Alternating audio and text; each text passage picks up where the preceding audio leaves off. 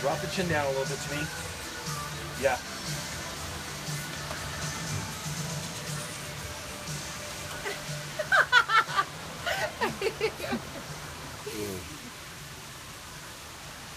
Look at, look at me, honey.